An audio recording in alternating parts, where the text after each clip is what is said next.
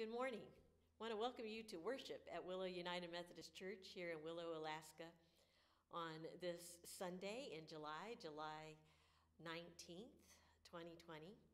My name is Christina Dowling Soka, and I, along with uh, my spouse Joe D., are the pastors here at Willow. We are thankful that you are worshiping with us this morning, and we particularly welcome you if you are worshiping with us for the very first time.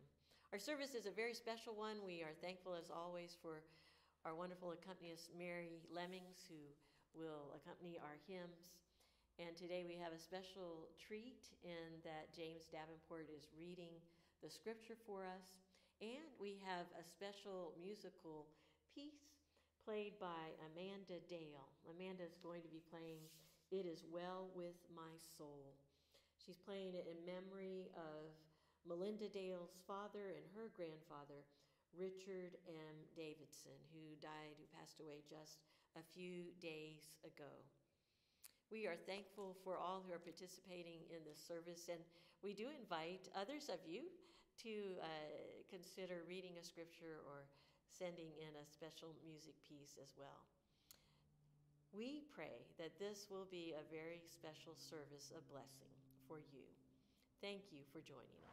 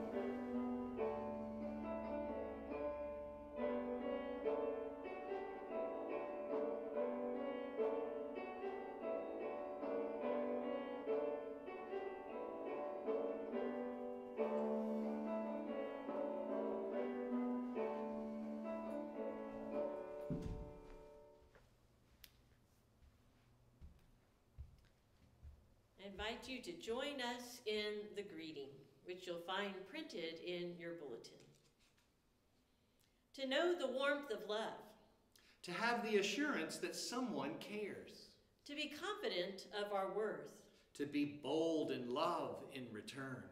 to be washed over with grace. To be accepted as we are. This is to know a bit of God. Then let us worship our God. Our hymn of praise is You Are Mine.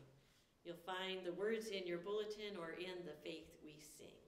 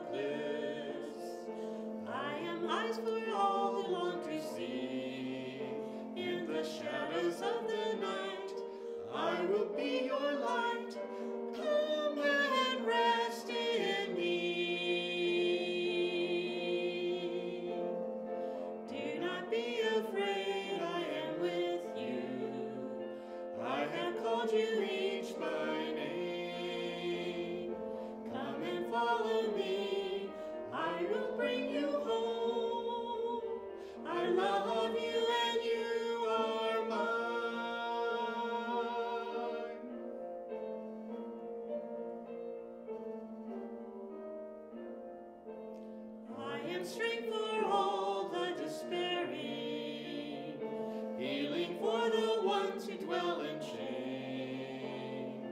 All the blind will see, the lame will all run free,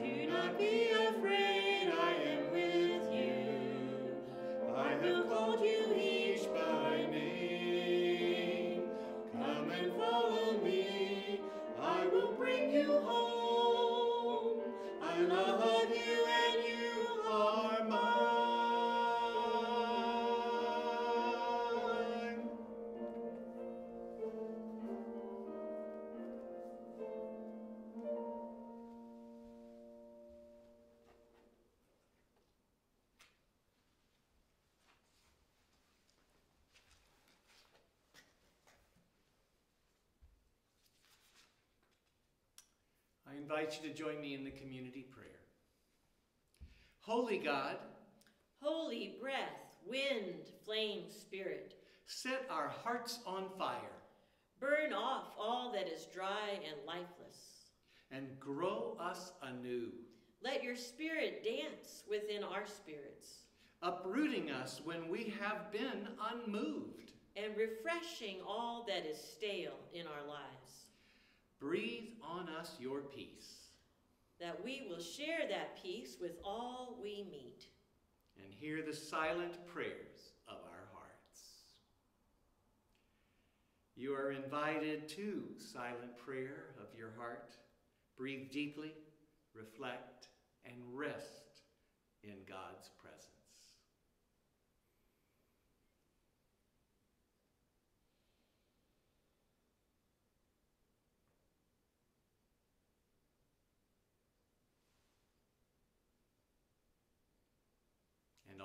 people said, Amen.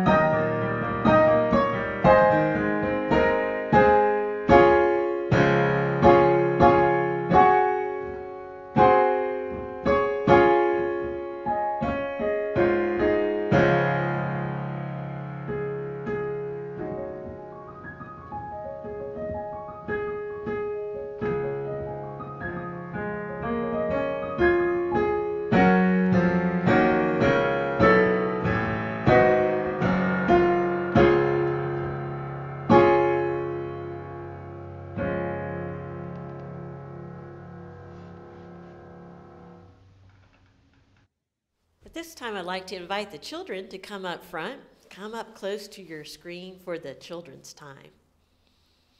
Good morning. I've been thinking about a, a big word, an important word, and the word is encourage. Can you say that? Do you know what the word encourage means?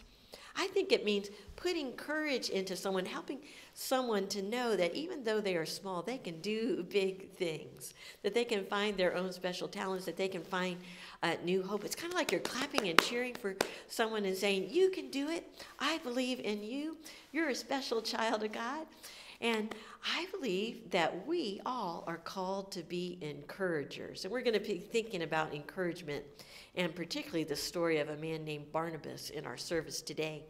I am so thankful for all of the encouragers in our world. And maybe people encouraged by phoning someone up and or maybe they write maybe they paint them a beautiful masterpiece a, a beautiful picture or they write a card or they give an air hug or they find time to uh, to uh, to play uh, or zoom with a friend. I was uh, particularly thankful for the all the encouragers in our community and i'm so proud of a group that's called willow rocks. They're having a lot of fun. They're finding rocks and some of them have been doing this for a long time, others more recent. And they've been painting beautiful uh, pictures on the rocks or words of hope, words of encouragement. This is one I found out by the church sign. Can you see it? It's oh, it's so pretty. it's, it's got a little forget me nots. And then on the other side, it says this important encouraging word don't forget to love.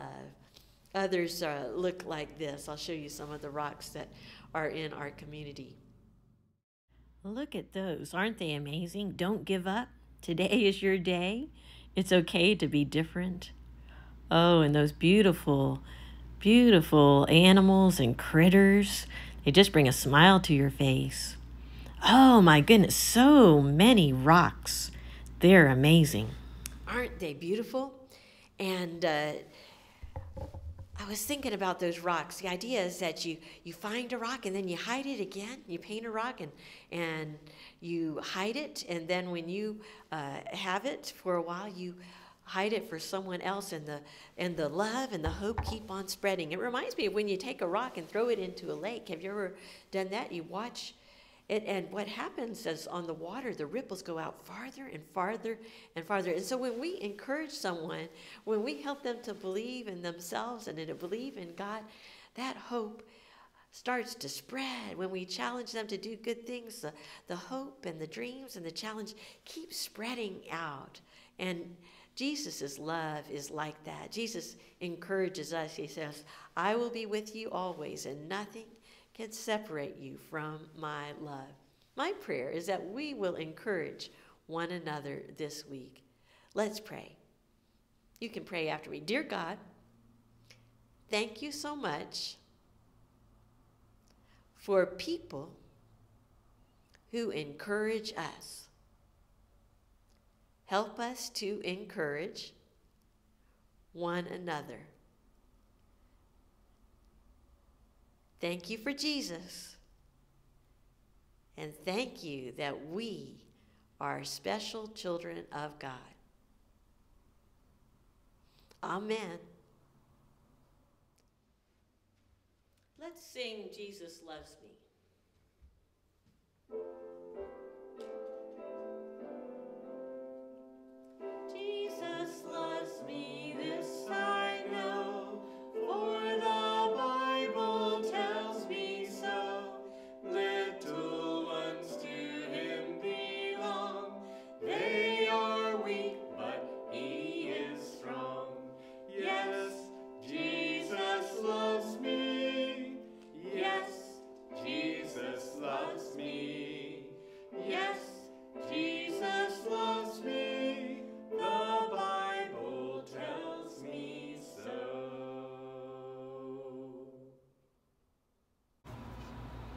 Our epistle lesson this morning is from Ephesians 2 8 to 10. God saved you by his grace when you believed, and you can't take credit for this. It is a gift from God. Salvation is not a reward for the good things we have done, so none of us can boast about it. For we are God's masterpiece. He has created us anew in Christ Jesus so we can do the good things He planned for us long ago. Our second reading is from Acts 11 19 to 26. Now, those who were scattered because of the persecution that took place over Stephen traveled as far as Phoenicia, Cyprus, and Antioch, and they spoke the word to no one except Jews. But among them were some men of Cyprus and Cyrene who, on coming to Antioch, spoke to the Hellenists also, proclaiming the Lord Jesus. The hand of the Lord was with them, and a great number became believers and turned to the Lord. News of this came to the ears of the church in Jerusalem, and they sent Barnabas to Antioch. When he came and saw the grace of God, he rejoiced, and he exhorted them all to remain faithful to the Lord with steadfast devotion. For he was a good man, full of the Holy Spirit and of faith. And a great many people were brought to the Lord. Then Barnabas went to Tarsus to look for Saul, and when he had found him, he brought him to Antioch. So it was that for an entire year they met with the church and taught a great many people, and it was in Antioch that the disciples were first called Christians. This is the word of God for the people of God. Thanks be to God. Let us go to God in prayer. Gracious God, I give you thanks for each one who is worshiping with us this day. I pray for each person. You know their needs, you know their hopes, their dreams, what they're going through right now. I pray that these words might be a blessing, that they might bring hope and encouragement, challenge and grace. Let the words of my mouth and the meditations of our hearts be acceptable in your sight, for you are our strength and our Redeemer. Amen. When you hear the words God's masterpiece, what do you think of? Do you think of the beautiful colors of a sunset or a sunrise? Do you think of looking up at a field on a clear starlit night? Do you think of seeing the northern lights? Or the beauty this week I was driving along and oh, the beauty of the purple and the pinks of the fireweed and the other flowers just bursting forth was breathtaking. Or maybe you're driving at sunset, maybe that's even as late as 1 a.m. in the morning, and you're on the Parks Highway at that point where Denali peeks up, and it's one of those nights where the colors are just amazing. And you stop and think, oh, how amazing God's masterpieces are. But I wonder this morning do you ever consider yourself to be a masterpiece of God? Because you see, I think that's what the scripture calls us to be when we live in Christ. Paul uses a little phrase, in Christ, over and over again. I think over 200 times in his writing. And what he's talking about is that in Christ, we take on a whole new way of living and thinking and breathing and being. As Christians, we reflect the love of Christ, we reflect love of God and neighbor. We become a beautiful masterpiece. There's a verse that says it specifically, the one that James read us in the book of Ephesians, where it says, We are God's masterpiece. God has created us anew in Christ Jesus so we can do the good things He planned for us long ago. I love that verse in Ephesians 2.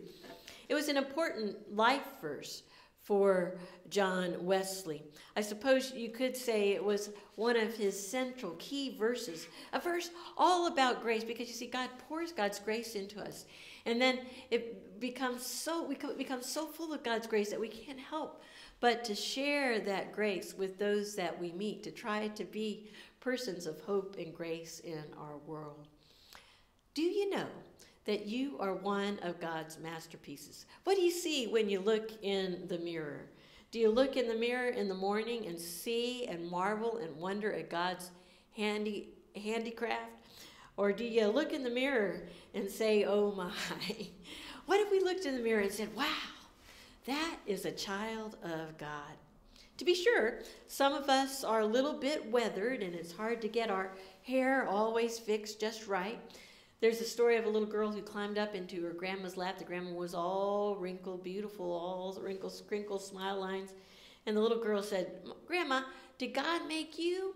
And the grandma said, Yes, God made me. And then she said, and she looked at herself, she said, Did God make me? And the grandma said, Yes, God made you. And then the little girl with a fun little smile on her face said, Grandma, don't you think God's doing a better job now than he used to? Sometimes all we see is the wrinkles. What do you see when you look in the mirror? Maybe the greater question is do you see? Do you see that you are God's masterpiece and that He can make beautiful things out of the dust of our lives? It's a little bit hard to comprehend the power that God has placed within each one of us, the dreams that God has for each one of us, that we might be called forth into this new existence and truly reflect the beauty of God's grace. Sometimes we get a little awed by that thought. I like what Marianne Williamson says about this. She says, Our deepest challenge is not that we are inadequate. She says, Our deepest fear is that we are powerful beyond measure. It is our light, not our darkness, that most frightens us. We ask ourselves, Who am I to be brilliant, gorgeous, talented, fabulous? Actually, she writes, Who are you not to be? You are a child of God, and your playing small doesn't serve the world. We are called to live into God's dreams, to let God work and paint God's magic in us. These next few weeks, we're going to be looking at what it means to be God's masterpiece. And we're going to be looking at several characters in the book of Acts. I wanted to depart from the lectionary a few weeks this summer and really focus on the book of Acts because I think it speaks particularly to this context, to our context in our world today. You see, in the book of Acts, the church was having to imagine itself for the first time, and we're having to reimagining ourselves. And they didn't get to gather in beautiful uh, sanctuaries like this. They mostly met in homes or they were out in the street. They were healing and teaching, and they were lifting one another up. They were serving one another. They were the church on the street in those early days. And out of those early days, God raised up several characters that we're going to look at. We looked at a little bit of Paul's story a couple weeks ago, but now we're going to focus on a person whose name is Barnabas. You find his story in these opening chapters of the book of Acts. His actual name was Joseph, but they called him Barnabas because the word Barnabas means son of encouragement. I think we can look a lot at learn a lot as we look at the story of Barnabas. I wonder this morning, are you an encourager? Do you live with your cup half full or is it always half empty? Do you see the good in others? Do you treasure the persons that you meet? It's not that you just totally ignore their flaws, because sometimes those flaws have to be dealt with. Sometimes there are boundaries that you have to hold on to. I'm more talking about though about ordinary encounters where we're called to lift one another up and to be uh, agents of hope and healing in our world. I want to look at Barnabas and think several things about his character and perhaps what they can teach us. First of all, I noticed how generous a person Barnabas is. Uh, Joe D usually at the end of our services each week talks about how important generosity is, how important it is to be generous with ourselves and with our church and with one another. Well, Barnabas was one who knew what generosity was. In chapter 4, it says this There was a Levite, a native of Cyprus, Joseph, to whom the apostles gave the name Barnabas, which means son of encouragement. He sold a field that belonged to him, and then he brought the money and laid it at the disciples' feet. What a radical thing to do. I know that money would have been hard to come by. And in the story of Barnabas, you see him investing everything, selling this field and laying the money at his disciples' feet. You see, the people in Jerusalem had gone through, the Christians in Jerusalem had gone through hard times and they were hungry. And the disciples were gathering this offering to take to him. And here you see Barnabas giving his whole, his heart, his life to this church that he loved. He was radically generous. I think he was also what you might call a heart whisperer, a person who builds a person up and helps them to see who they can become. I came across this little phrase, heart whisperer, in a lovely little essay written by Mary Ann Bird called The Whisper Test. She talks about how, as a child, she was very insecure, that she was often bullied, often excluded. She didn't think that anybody else loved her except for her own parents. She was born differently. she was created differently. Her face was a different shape, and, and her, her teeth weren't even, and she had a hard time to speak. And she felt uh, very insecure, as she said. She didn't know that anyone else could accept her outside of her family. And yet, there was a teacher who made a difference. The teacher's name was Mrs. Leonard. She was a, a short, sparkling, vibrant, happy woman.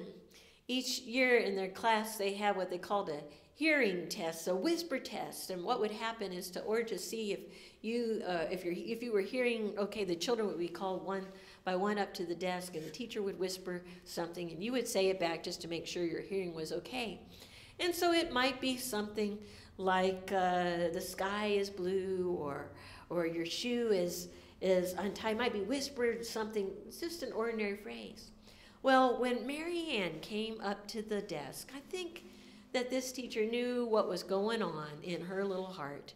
And so she said seven words Seven words that Mary Ann says forever changed her life.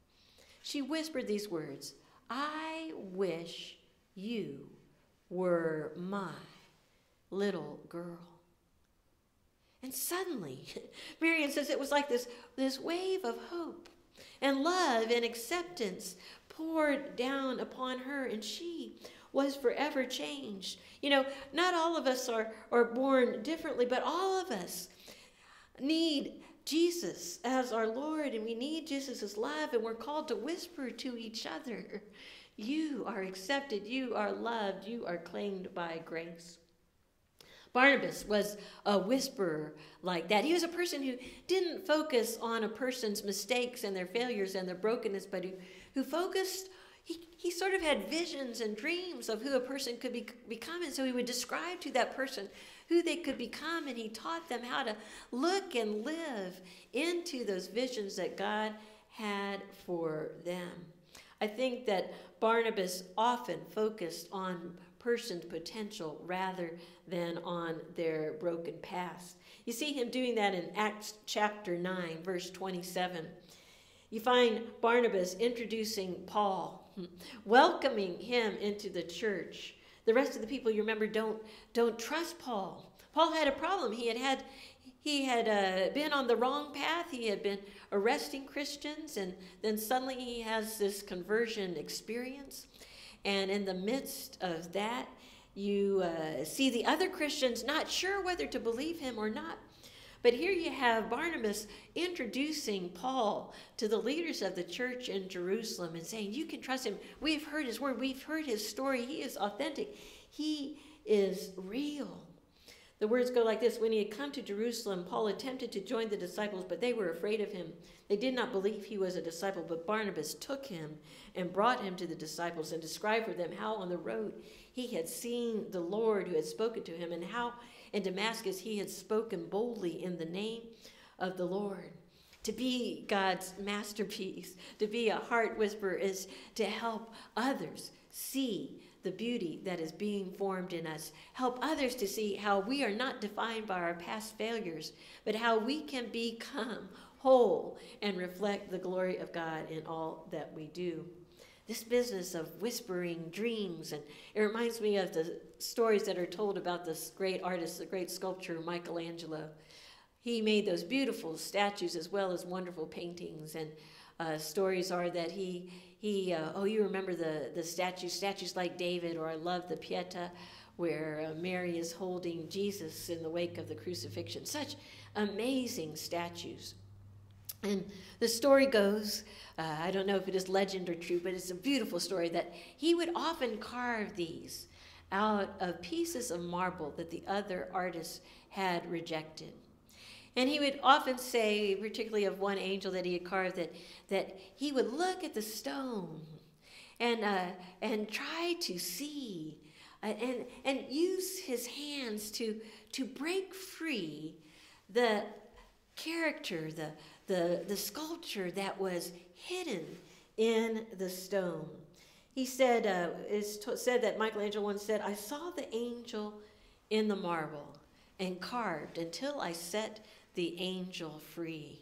That's the kind of action that Barnabas's encouragement does for the other characters in this book of Acts. Ralph Dunn says the word encourage means to put courage into. And I love the Greek root word that is translated as encouraged in the New Testament. It's the word parakletos. It's a word that is used so many times, used 109 times in the New Testament. And it's uh, the verb form of the noun uh, paraclete. And paraclete, of course, is the word that's used for the Spirit. It's used for the word of the one who is the advocate, the one who walks alongside us. And parakletos means to come alongside, to walk alongside, and to encourage and to bring hope. Sometimes it means to comfort or to exhort. It's being there, standing with one another when the world is tough. There's so much in our world that needs to be healed, so much that is broken, so many times that we need courage in our hearts just to make it through another day. And, church, that's what we are called to be for one another to bring hope and courage and healing in the midst of this world. You don't have to look far to find the discouragers. Oh my goodness, so much discouraging. I get very saddened by all the hard words that you hear, so many hate filled words. And yet we are called to turn the narrative around we are called to be the encouraging word. It's easy to fall into discouragement. It's easy to see the flaws and the faults in one another. I think of on Sunday mornings, I don't know about you growing up, but when the paper would come, Mary and I would rush to uh, get the paper, and we'd be looking for one page in particular. You know what page it was, the, the colorful uh, page. And we particularly liked, I particularly liked one of those comics. It was called Peanuts. And there's a book called The Gospel According to Peanuts that I read long ago. But I was thinking about two different uh, contrasting strips. In the first strip, there's little Linus, and he's writing a comic strip of his own. He's kind of chortling as it. He hands it to his sister Lucy and says, Lucy, tell me whether you think this is funny. And then you see Lucy looking at it, and she's reading it, and this wonderful smile is coming on her face. She's starting to laugh. And then uh, she, in the next frame, she says, Well, Linus, who wrote this? And Linus says, Well, I wrote this, looking so proud and the big smile. And then the next phrase, you see old Lucy ruining it all. She wads up the, the uh, comic strip and throws it to the side and says, Well, then I don't think it's very funny. And in the final frame, you see Linus there with his little blanket over him, comforting him, his little thumb in his mouth. And you hear him saying, Big sisters are just the crabgrass in the lawn of life. Have you ever been crabgrass in the lawn of someone's life? It almost sounds like a country tune. I'm, I'm fond of uh, teasing and saying that I should have been a country music song artist. And I think I even sang for you uh, some uh, recently, some long ago, uh, a hit tune that I thought should have been a hit tune that I wrote when our uh, gas line was broken at camp. And I made up a song. I don't want to be trash. I don't want there to be trash in the gas line of my soul. Well, it's a longer story for another day, but I got to thinking about this this uh, comic strip and wouldn't a good country tune be I don't want to be crabgrass in the lawn of life. Uh, you, you think about uh, those words um, actually, my uh, experience as wanting to be a, a, country singer went back way early. Or uh, Mama would was a music teacher, and she would sometimes for the weekend bring home her wonderful auto harp. Uh, you know, one of those auto harps where you push the buttons and you strum the chords. And I love to sing that old song, "Home, Home on the Range." And you know, it goes where never is heard a discouraging word. My voice would little warble it out. Never was heard a discouraging word. And the skies are not cloudy all day. I think maybe my first contact with the word encouragement uh, was the word discouragement. Of course, encouragement is the opposite of the word discouragement, but it's easy in this life to get discouraged because there is so much that is broken, so much that we see within ourselves, within our structures that needs changing. The sky does get cloudy. There's so much hurtful, abusive speech. I'm embarrassed by the hate that is spread. Someone once said that in a normal day you can find six negative things to one positive, and we have to turn it around. And that brings me to the, I said there were a couple of comic strips, that brings me to the little comic strip of, of uh, Linus turning it around. Lucy is there, and now she is the discouraged one. She's never felt so low in her life. Linus encourages her to count her blessings. Lucy says, I've never had any blessings. She says, I could count my blessings on one finger. There are no breaks. I never get any breaks, and nothing goes right for me. And then she turns and lambasts her little brother. She says, You talk about counting blessings. You talk about being thankful. What do I have to be thankful for? And then he softly says, Well, for one thing, you have a little brother who loves you. And you see Lucy pause. And it ends up with, with her giving Linus a big hug. And Linus saying every once in a while, I say the right thing. Ah, church, we are called to be the Linuses of the world. We're called to be the Barnabases of the world who speak hope, who speak love, who speak grace.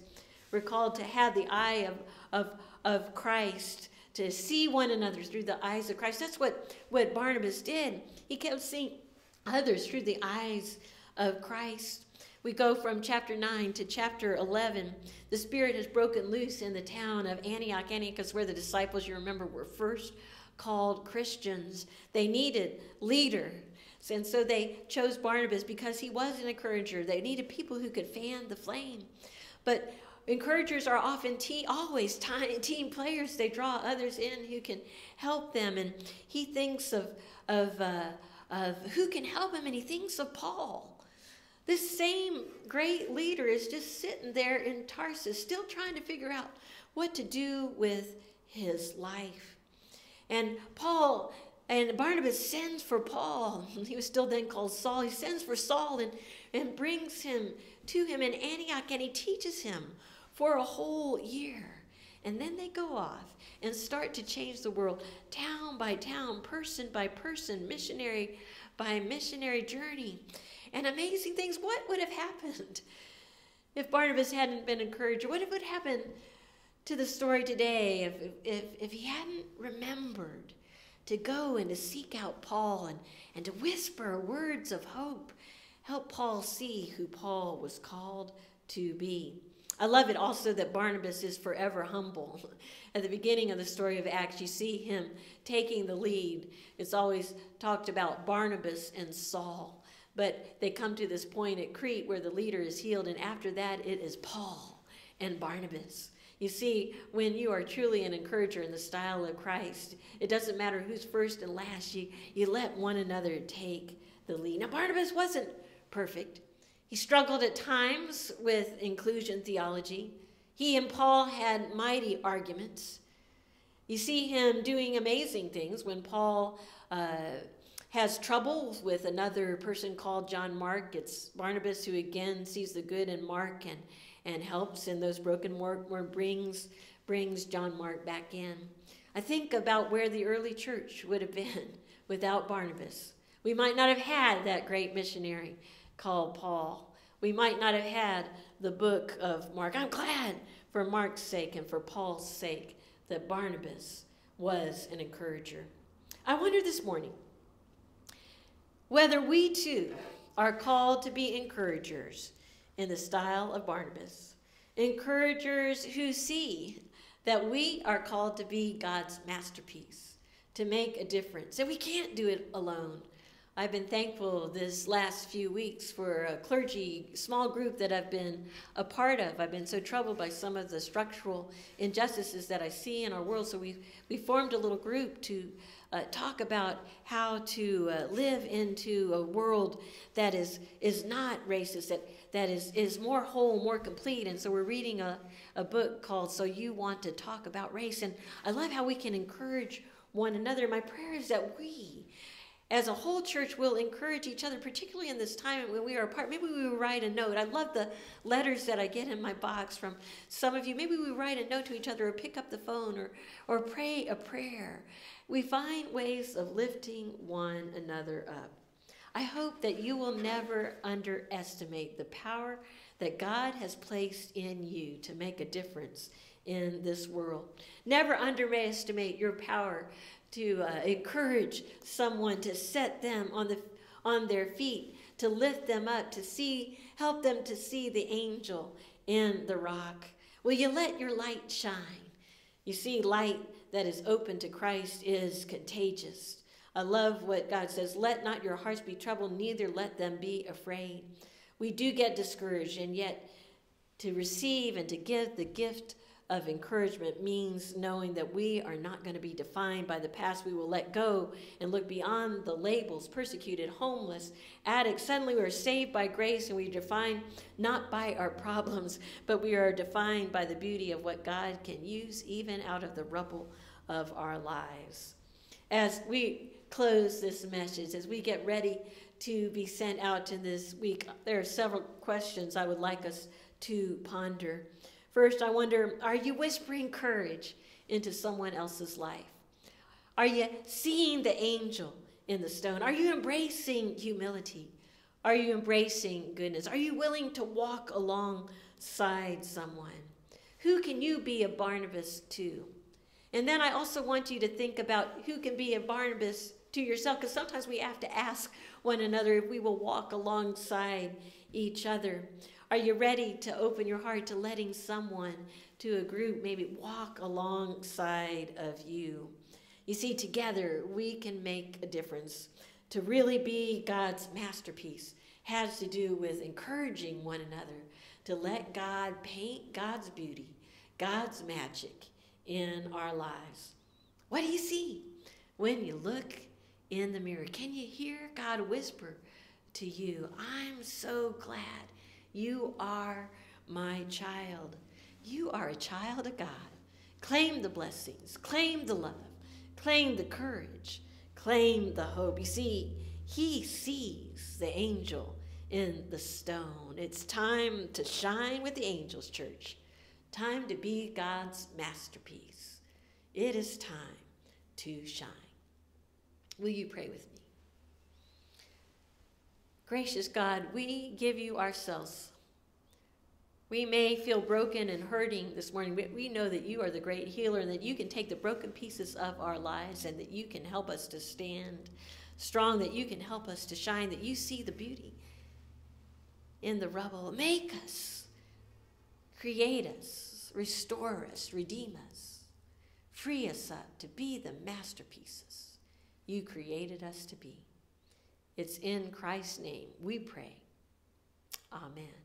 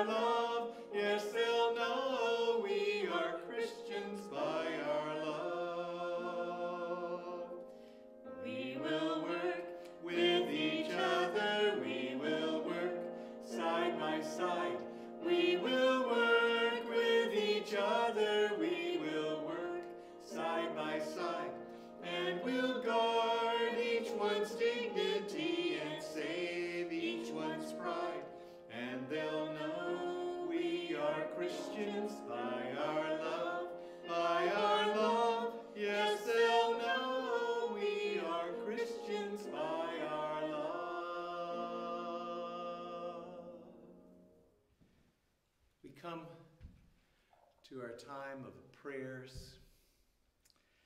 And we have, uh, during this time of doing remote worship, we've been using the uh, prayers of the people out of the United Methodist hymnal, and it is bidding prayer. Bidding prayer is an ancient practice uh, of the liturgist, which would be me in this case, of lifting a category of praying for, and that you, uh, where you are, silently or aloud, uh, filling in uh, people, places, things that you're praying for in that particular category. So just let you know that we'll be praying for the Willow Methodist Church, for people who are suffering, uh, for Willow and uh, the Willow community in the Mat-Su Valley, and then the world its leaders, and then also the church itself, the Church Universal, and ending the communion of saints. We get to this prayer beginning with these words. New every morning is your love, great God of light, and all day long you are working for good in the world. Stir up in us desire to serve you, to live peacefully with our neighbors, and to devote each day to your Son, our Savior, Jesus Christ the Lord. Together, let us pray for the people of Willow United Methodist Church.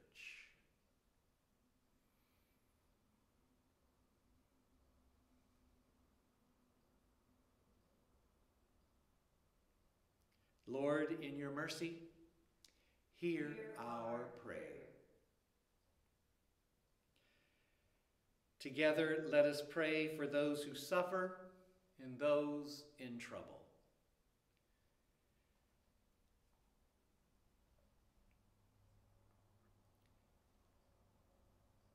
Lord, in your mercy, hear, hear our prayers.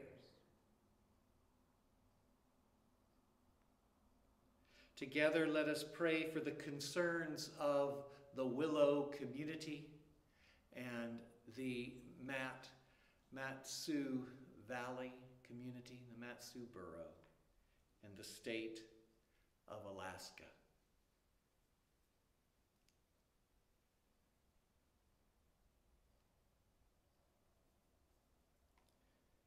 Lord, in your mercy, hear, hear our prayer. Together, let us pray for the world, its people, and its leaders.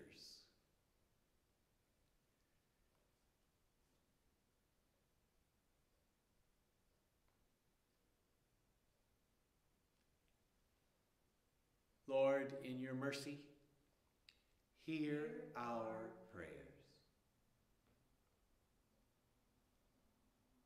Together, let us pray for the Church Universal, its leaders, its members, and its mission.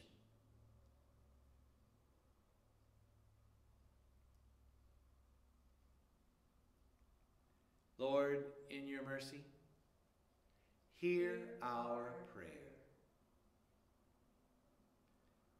And together, let us pray for the communion of saints.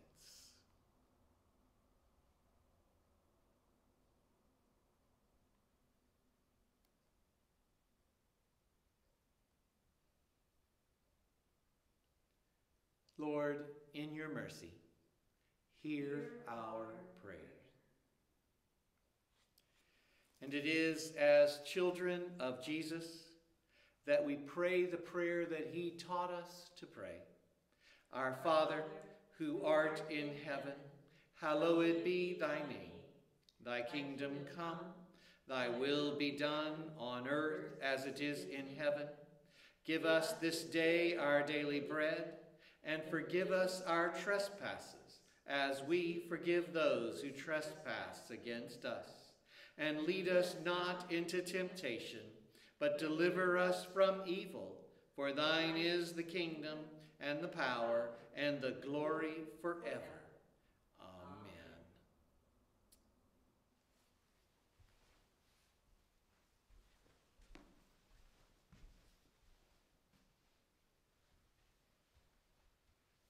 Invite you to sing Pass It On.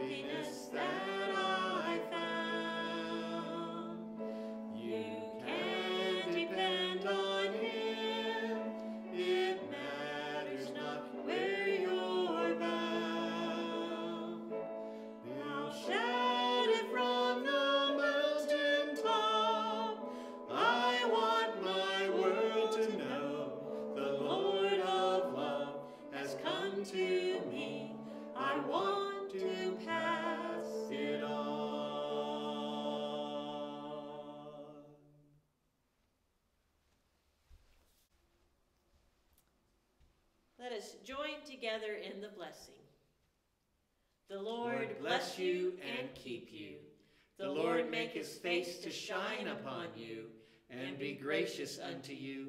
The Lord lift his countenance upon you and give you peace. Amen.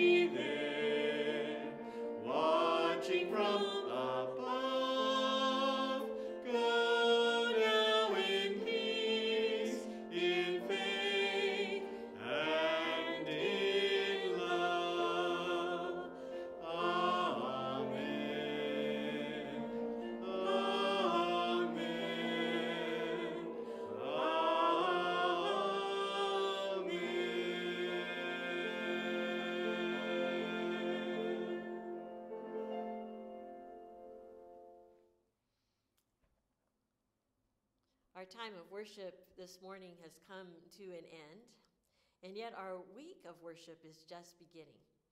We pray that this service has been a blessing for you. And we also invite you at this time, as we do at the end of every service, to be generous. To be generous with yourself and with your church and with your community. If you would like to send in tithes and offerings, that can, those could be sent to Willow United Methodist, P.O. Box 182, Willow, Alaska. We pray that you will have a blessed week. Know that you are loved. Know that you are God's masterpiece. Amen and amen.